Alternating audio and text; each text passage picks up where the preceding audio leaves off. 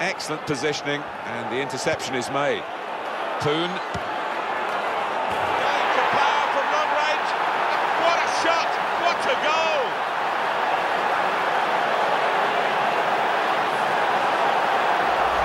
And he's left the keeper looking silly there, beating him from so far out with a proper drive.